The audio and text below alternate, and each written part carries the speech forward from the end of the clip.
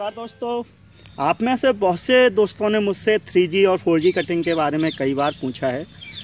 और, चलिए दोस्तों, एक ऐसी विधि की जानकारी जिससे एक पौधे से आप सैकड़ों और बड़े स्तर पर अगर करें तो हज़ारों फल पा सकते हैं बहुत ही आसानी से। तो इस वीडियो में हम आपको बताने वाले हैं कि 3G कटिंग क्या होती है 3G कटिंग कब कर सकते हैं, कितने बड़े पौधे पे कर सकते हैं, और 3G कटिंग की ज़रूरत क्यों है। तो चलिए, सबसे पहले मैं आपको बताऊँ दोस्तों कि कद्दू वर्ग के जो पौधे हैं, लौकी, करेला, टिंडा, इस प्रकार के पौधों पर आप इस तकनीक को आजमा कर अपना जो उत्पादन है, उसे कई गुना बढ़ा सकते हैं। देखिए, ये मैं ज़मीन पे प्रक्रिया आपको समझा रहा हूँ। आप चाहें तो गमले में भी इस प्रक्रिया को कर सकते हैं। पहली बात यह है कि तकरीबन आपका पौधा 40 दिन का हो जाना चाहिए। उसकी लंबाई की अगर बात करें तो तकरीबन 30 से 35 सेंटीमीटर तक हो जाने के बाद ये 3G कटिंग आप कर सकते हैं। 3G से मतलब है तीन, यानी कि एक ब्रांच को दो और फिर आगे उसे हम जब कट करते हैं तो तीन ब्रांच में उसे डेवलप करना हमें ज़रूरत क्यों होती है 3G की? देखिए, नॉर्मल जब हम पौधा ग्रो करते हैं, वो लौकी हो, कद्दू हो या फिर घिया उस पर मेल फ्लावर यानी कि नर फूल बहुत ज़्यादा आते हैं और जो फल देने वाले फूल होते हैं, जिन्हें मादा फूल कहते हैं, वो कम आते हैं। तो उस स्थिति में हमें थ्री कटिंग की ज़रूरत होती है। तो चलिए शुरुआत करते हैं, ज़्यादा समय नहीं लूँगा। ये हमने एक पौधे का चुनाव किया है और पौधा आप देख सकते हैं तकरीबन आधा मीटर से थोड़ा बड़ा है। तो देखिए, बुनियादी तौर पे सीधा सीधा सिद्धांत ये है कि अगर आपने ज़मीन पे से किया हुआ है तो यहाँ देखिए, कोई भी शुरू के जो तना है, जहाँ से जड़ निकली है आपके पौधे की, वहाँ पास में कोई नई ब्रांच निकलनी नहीं चाहिए। तकरीबन पाँच सात पत्तियों तक, एक, दो, तीन, चार, पाँच पाँच पत्तियों के आसपास तक आप कोई भी दूसरी नई शाखा नहीं निकलने देंगे। अगर आप यही प्रक्रिया मचान के लिए कर रहे हैं, जैसे किसी ऊँची जगह पर चढ़ाकर तो ये प्रक्रिया आप लंबी दूरी तक रखिए, एक से दो मीटर तक। लेकिन ये ज़मीन पर है तो सबसे पहले एक ब्लेड लेना है, नया ब्लेड लीजिएगा। और जो नई ब्रांचेस निकल रही हैं, ये देखिए, ये मैं आपको दिखाऊँ पास से।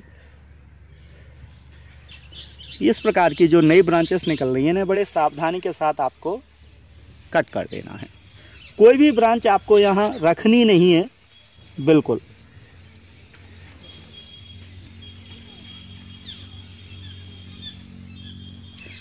ये देखिए, मैंने काफ़ी बड़ी ब्रांच भी काट दी है।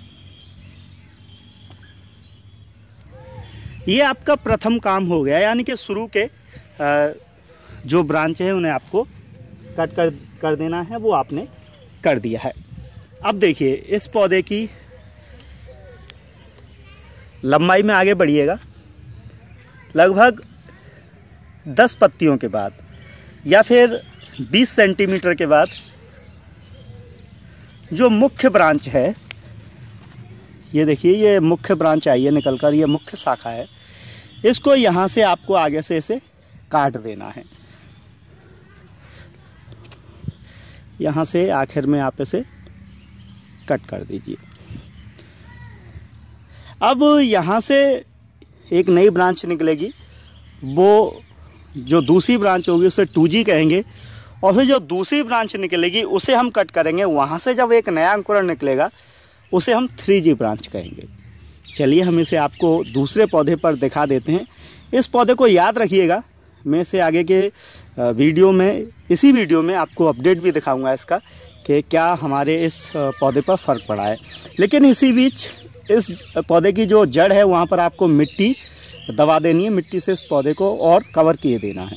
साथ ही साथ कुछ फर्टिलाइज़र भी आप यूज़ कर सकते हैं, गोबर खाद या वर्मी कंपोस्ट। कुछ नई मिट्टी लीजिए और जहाँ जड़ है पौधे की, वहाँ पर थापा बनाना जिसे बोलते हैं, किसानी की भाषा में, उस प्रकार से मिट्टी बढ़ा दीजिए। चलिए, मैं दूसरे पौधे पर इस प्रक्रिया को और समझाता हूँ आपको। आपने अभी तक पहला चरण समझा कि पौधा लगभग 40-45 दिन का हो जाए 30 सेंटीमीटर दूरी हो जाए तो आप थ्री कटिंग शुरू कर सकते हैं। करके भी मैंने दिखा दिया लेकिन उससे बड़े पौधे के लिए आपको क्या करना है? जैसे लगभग एक मीटर से बड़ा पौधा हमारा ये हो गया है। तो अगर आपने अगर शुरुआत नहीं की है तो शुरू की जो ब्रांचेस हैं, उनको एक बार फिर आपको निकाल देना है। ध्यान रखिए, शुरू की ब्रांच अगर रहेंगी तो आगे की जो आप कटिंग करेंगे, उनमें कोई फ़ायदा आपको नहीं होना है। तो वही तरीका यहाँ भी अपनाना है। और 10-15 पत्तियाँ छोड़ने के बाद आप देखिएगा कि आगे यहाँ पर और भी ब्रांचेस निकल रही हैं। ये देखिए। इस प्रकार की स्थिति होने पर। इसके साथ भी आपको वही करना है, जो पहले हम कर चुके हैं।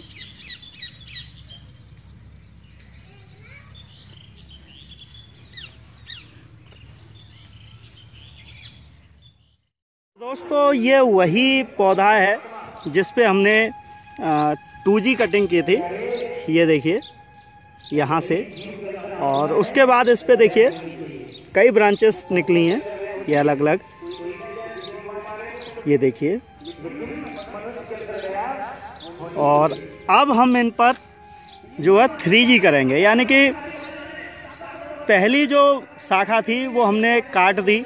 वहाँ से कुछ और शाखाएँ निकली और उन शाखाओं को फिर हम यहाँ से काट रहे हैं। ये देखिए।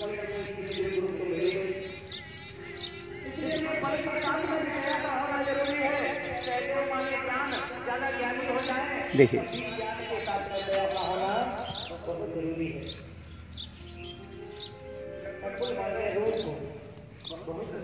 मैंने ये जो है कट कर दिया। तो दोस्तों, आपको ध्यान होगा, कुछ समय पहले हमने इस पौधे पर थ्री कटिंग की थी और आज समय है उसका रिज़ल्ट दिखाने का। थ्री के बाद सबसे पहले फ़र्स्ट जी फिर टू जी और थ्री जी करने के बाद रिज़ल्ट हम आपको दिखाएँगे।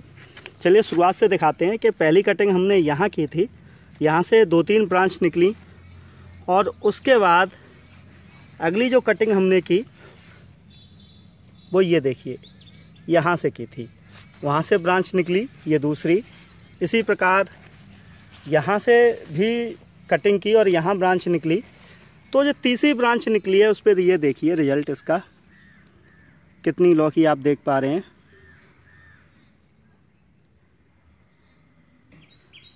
ऊपर तक आपको लौकी ही लौकी दिख रही होगी।